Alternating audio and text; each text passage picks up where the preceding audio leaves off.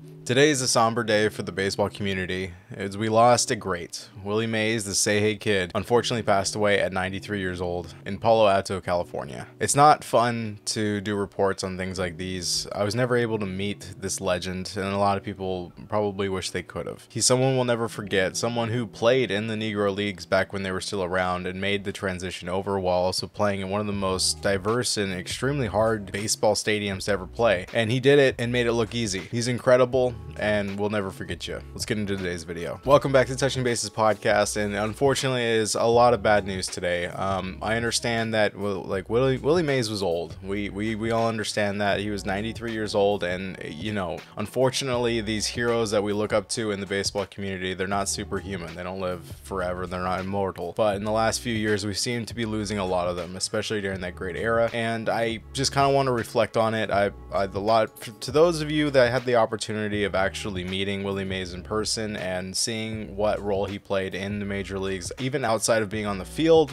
whether it's organization or when he retired. I, I envy you, and then I also hope that those memories that you had are cherished and held on forever. In 1948, Willie Mays was 17 years old and was drafted to play in the Negro Leagues for the Birmingham Black Barons, a very famous team that everybody kind of knows nowadays. They did win the NAL Championship Series, going 4 3 and 1 against the Kansas City Monarchs.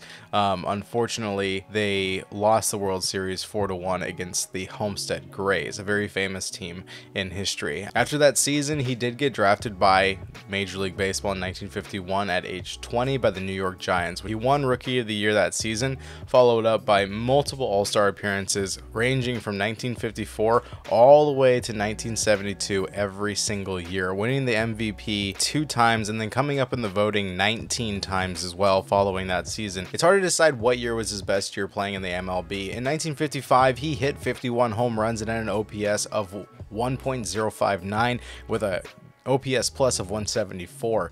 He hit 319, which was significantly less than the year before, where he ended his season with a 345 batting average. But looking at 1965, nearly 10 years later, he hit 50 two home runs, batting a 317, almost identical to 1955, and he had an OPS of 1.043. His OPS plus that season was the highest though in 1965, where he had a 185 OPS, which is very much in line with what Babe Ruth and Mickey Mantle were putting up in the early 40s. He did win MVP in 1965, so I would say that's probably his most memorable season, and that was years and years into his career after winning the Rookie of the Year. As far as sustainability and players, this is the reason why he is a legend and will never be forgotten about. He started in New York with the Giants. Of course, they transferred over to San Francisco, where he was there for almost his entire career until 1972, when he got traded to New York Mets. For those that watch this, if anybody in his family ever were to see this, or any friends were able to see this video or watch this channel, my condolences to you. We lost someone special, and I can only imagine how hard your loss is. Rest in peace. Moving on to the rest of the league that's going on. Again, not a lot of good information. Kyle Bradish had his Tommy John surgery today, which means that he's out for the rest of the season. Orioles now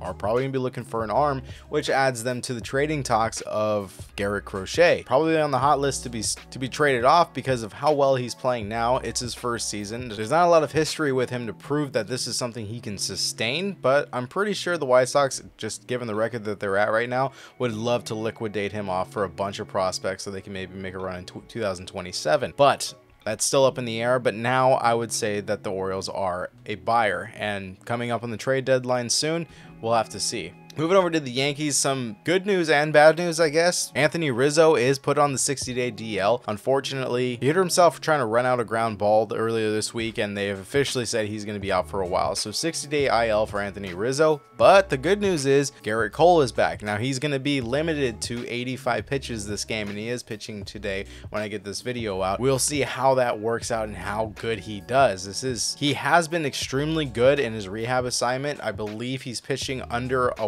1 ERA. I think he's at 0.83 and he's had multiple strikeouts and I don't think he's given up a single walk while he's doing his rehab assignment. So he's still elite and he's living up to his $300 million contract.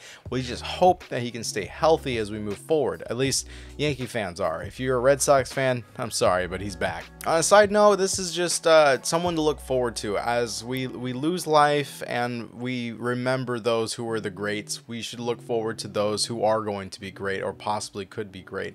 And someone I wanted to highlight is Rintaro Sasaki. He's coming over from Japan as a high schooler and he's now admitted to Stanford University where he's going to be playing next season for them. If you haven't heard of Rintaro Sasaki, he is probably going to be one of the biggest powerhouses going into the draft in the MLB when he becomes of age. He is currently a senior in high school, but if I read off his stats, Sasaki hit a Japanese high school record, 140 home runs, and was projected to be the first selected overall in the Nippon in the NPB draft, but instead he decided to go to Stanford University in Oregon, and possibly open up his chance to join the MLB. So this is a player that you should absolutely keep an eye on. So if the name sounds familiar, Rintaro Sasaki is the son of Hiroshi Sasaki, who is also the former coach that got, you guessed it, Shohei Ohtani to where he's at. So if the son of one of the greatest coaches in Japanese baseball currently is bringing his son over to the United States, you should be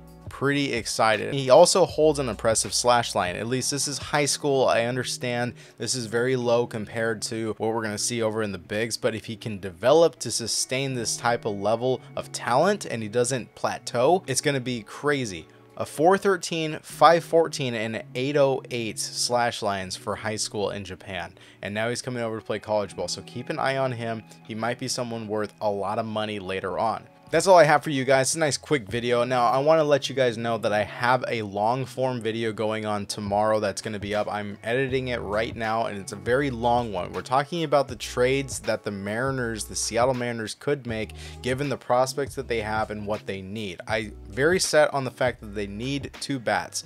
I think they'll only go for one. I think that they should, and the ideal thing would be getting three bats. And I go over everybody that could be an option and who we should probably avoid just because it doesn't make sense for our future. And hopefully you can tune into that. I'm going to finish editing that. I'm going to edit this one, get it out to you guys. And until then, have a fantastic day. See you.